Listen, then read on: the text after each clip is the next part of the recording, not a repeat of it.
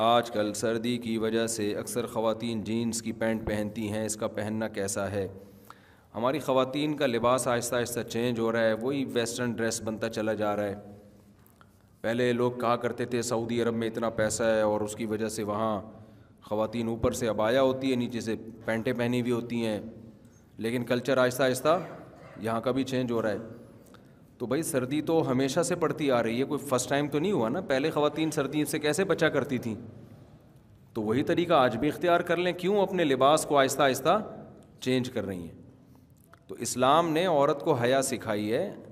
अब लोग हमसे कहते हैं, दलील बताओ कि कहीं लिखा हो कि औरत के लिए पैंट पहनना मना है। नबी सल्लल्लाहु अलैहि वसल्लम ने उसूल और जबते जो बयान किए हैं, उन जबतों की रूह में देखा जाएगा। इसकी मिसाल ऐसे जैसे ख़वातीन का बाइक पर मर्दों की तरह बैठना, इस पर मैंने एक बयान रिकॉर्ड करवाया था कि ऐसा नहीं करना चाहिए। उस पर बाज़ लोगों ने हदीसों के हवाले दिए कि भाई ऊँट पे भी तो सहाबियात बैठा करती थी। तो भाई ऊँट पे, ऊँट को आप मोटरसाइकिल पे क़यास कर रहे हैं, ऊँट पे तो ऐसे बैठना मुमकिन ही नहीं है जैसे बाइक पे बैठती हैं। मुमकिन है क्या? और हया का ताल्लुक़ से है से। हया जो है ना, ऐसी चीज़ नहीं है जिसको लेबॉर्ट्री में एक्सप्लेन किया जाएगा या कोई साइंसदान उसको बताएगा। हया का ताल्लुक़ किससे है? उर्फ़ से। बाज़ लोग ये भी कहते हैं, गाँव देहातों में तो मर्दों की तरह बैठती हैं। तो भाई हम वहाँ भी मशवरा देते हैं कि ऐसे बैठें जैसे जैसे ख़वातीन शहरों में बाइकों में बैठती हैं। इसमें हया ज़्यादा है। हया का उनसर, और जहाँ भी हया का उनसर ज़्यादा होगा, शरीयत औरत की हया को पसंद करती है अप्रिशिएट करती है। कोई भी काम जो हया के ख़िलाफ़ होगा, शरीयत उसकी हौसला अफजाई नहीं करती। अब ये हया के मुताबिक ऐसे बैठना है या ऐसे बैठना? ये तो आपका अगर ज़ौक़ सही है, आप में, आप खुद हया पर हैं अभी तो आपकी नेचर खुद फैसला करेगी कि भाई ख़वातीन के लिए दोनों पाँव एक तरफ़ करके बैठना, इसमें हया का उनसर ज़्यादा है। बाज़ लोग बड़े शोर शोर से क्लिप बना रहे हैं कि नहीं जी, वैसे बैठे हैं, इसमें क्या होता है? तो फिर आप अपनी औरतों को क्यों नहीं बिठा रहे वैसे? आपको भी शर्म आ रही है उस तरह बिठाते हुए ना? तो आपको भी तो उसमें शर्म महसूस हो रही है। इसका मतलब एक चीज़ महसूस हो रही है तो है वो। हाँ बाज़ दफ़ा ये होता है कि एक काम जो हया के मुताबिक है, उसके करने में नुकसान ज़्यादा हो रहा होता है। तो फिर शरीयत कहती है, पहले जान की हिफाजत है, उसके बाद दूसरे नंबर पे क्या है? हया है। आपको कोई बीमारी हो गई, ऐसी बीमारी है जो बताना हया के ख़िलाफ़ है। अब आप डॉक्टर को बता नहीं रहे कि जी शर्म आ रही है तो फिर बीमार हो गए मर जाओगे आप तो या उसका इलाज ही नहीं होगा।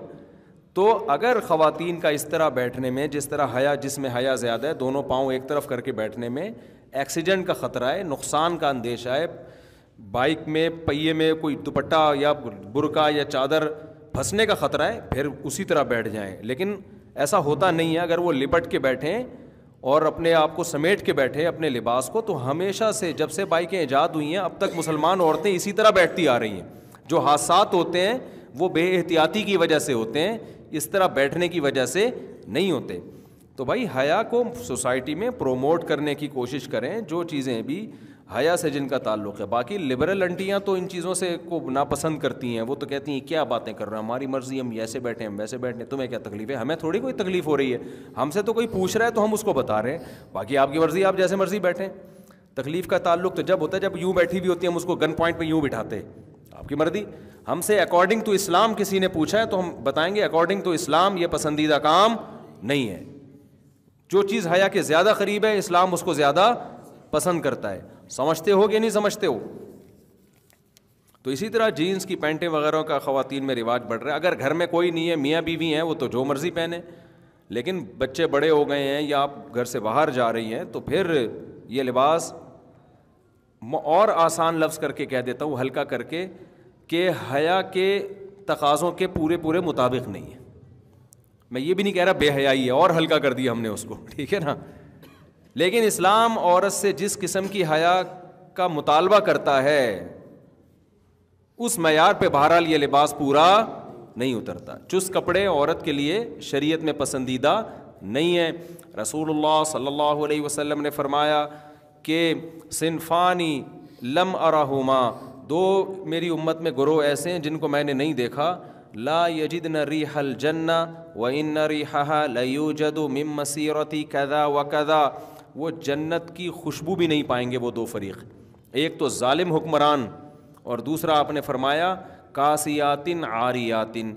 वो औरतें जो लिबास पहनी हुई होंगी, उसके बावजूद अल्लाह के यहाँ बरहना शुमार होंगी, बेलिबास शुमार होंगी। क्यों? भाई, लिबास जब पहनी हुई है तो बेलिबास क्यों भाई? इसलिए कि वो लिबास होना ना होना बराबर होगा। तो ने दो शर्तें बयान की हैं कि दो चीज़ें अगर लिबास में हैं तो वो वो ऐसा ही है जैसे बेलिबास। एक चुस्त इतना हो कि जिसम के अज़ा का उभार पूरा वाज नज़र आता हो। इतना टाइट। और एक इतना बारीक हो कि स्किन नज़र आती हो, खाल नज़र आती हो। तो ये जो टाइट्स पहन रही हैं लड़कियाँ, ख़वातीन पहन रही हैं इससे तो पूरे जिसम का, इसको तो फ़ैशन बना दिया जी। तो औरत का लिबास ढीला ढाला होना चाहिए। तो अब आखिरत पर अगर ईमान है तो बात समझ में आएगी, आखिरत को आप नहीं मानते तो भाई आप जैसा मर्ज़ी, जब आपका अकीदा ही नहीं है कि आखिरत में हमें जवाब देना है अपने लिबास के बारे में तो जो मर्ज़ी पहन लो फिर आप। ये तो उन लोगों के लिए बातें हैं जो अल्लाह उसके रसूल पर ईमान रखते हैं, आखिरत पर ईमान रखते हैं। हमें अपने अमाल का हिसाब देना है तो हमें लिबास में उन पाबंदियों का, को इख्तियार करना पड़ेगा जो पाबंदियाँ अल्लाह उसके रसूल ने लगाई हैं। अब देखो, मर्द के लिए हमें गर्मी लग रही होती है, बाज़ दफ़ा इंसान को कमीज़ पहनने में भी गर्मी लग रही होती है। लेकिन अल्लाह ने पाबंदी लगा दी, मर्द भाई नाफ से लेके घुटने तक इस जगह को छुपाना पड़ेगा आपको। ये अल्लाह मियाँ ने पाबंदी लगाई ना, गोरे तो नेकर पहन के घूम रहे होते हैं। बड़े लोगों में भी देखा है जो बड़ा ज़रा मॉडर्न किस्म के होते हैं चड्डी वड्डी में भी घूम रहे होते हैं। कह रहे हैं, गर्मी लग रही है, क्या है ये टेंशन वेंशन हम कहते हैं, भाई ठीक है, आपको आखिरत में जवाब नहीं देना। हमने जवाब देना है तो हमें अल्लाह ने पाबंदी लगाई है कि जितनी भी गर्मी लगे, नाव से लेके आप घुटने तक का एरिया आपको छुपाना ज़रूरी है। तो इसी तरह औरत पे भी अल्लाह ने पाबंदियाँ लगाई हैं लिबास के बारे में तो औरत को भी उन पाबंदियों को फॉलो करना पड़ेगा। समझते हो कि नहीं समझते हो?